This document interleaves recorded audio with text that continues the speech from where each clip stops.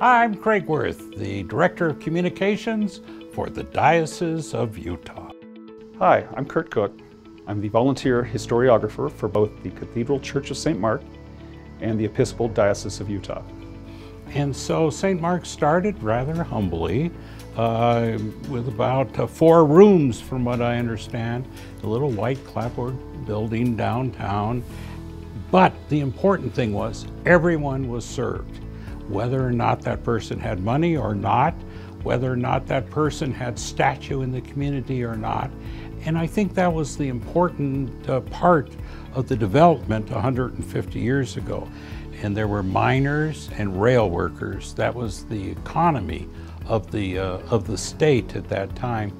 And the Episcopal Diocese of Utah at the time saw the need to take care of these folks. And so Bishop Tuttle, Daniel S. Tuttle, was to create a hospital, St. Mark's Hospital, and not just something that would have a country doctor come in with a little carpet bag full of uh, goodies, but to find a real physician. And then Dr. Hamilton arrived, an distinguished, uh, distinguished surgeon, a distinguished um, practitioner.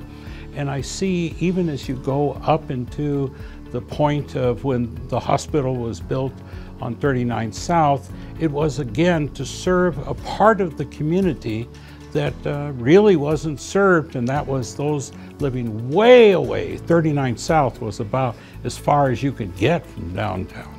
And so I think that was the uh, foundation I see of the hospital. The Episcopal Church has always been noted for trying to improve its community wherever it is.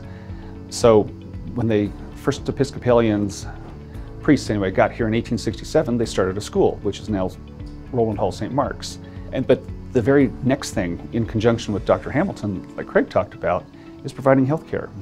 In four years, they had seen the need, you know, their beds were totally full. I mean, they had six beds to start with. So they opened up a new facility with 12 at 5th East and 3rd South, a block away.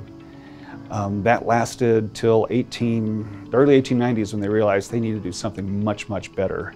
So they started a funding campaign, and the early missionary bishops, uh, Tuttle and Leonard, were quite good at, you know, talking people into donating funds. And then they were able to start the hospital out on Beck Street, Third West. So yeah, the ever increasing need.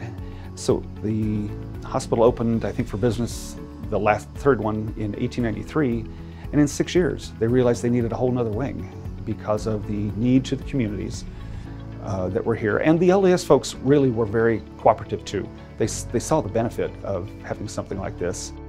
And the other thing that I think that St. Mark's did in, from early on that was important is that uh, established what became the St. Mark's Nursing School.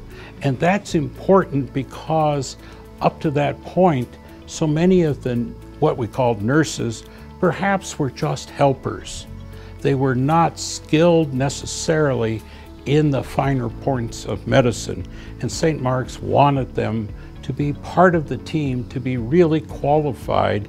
And so the St. Mark's School started as one of the first attempts, one of the pioneer attempts in the West to really train nurses as very important parts of the medical team.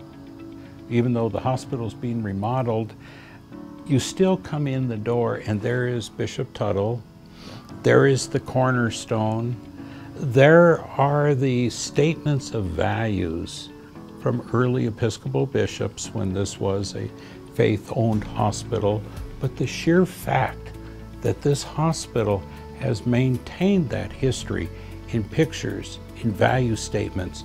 There's a plaque of those who were part of the staff who served in World War I. There's the heritage, and you see that as you walk down those halls, and I think that's very important. And I commend the hospital for keeping those, and not only just keeping them, but making them the first thing you see when you come in these doors. It's really about the lives. It's really about the lives of the people who came before me and everybody else and what they did with those lives that still goes on today. The hospital is a great example of that. It's just, I'm the benefactor, and we all are, of what these people 150 years ago put together. And You know, did they envision what it is today? I doubt it, you know, because man, I have a hard time knowing what's coming in a week. But uh, they knew they were doing the right thing, and the right thing kept snowballing.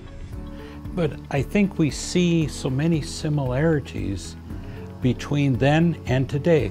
Of course, the hospital here is fantastic and getting better, but that was also the attitude back 150 years ago.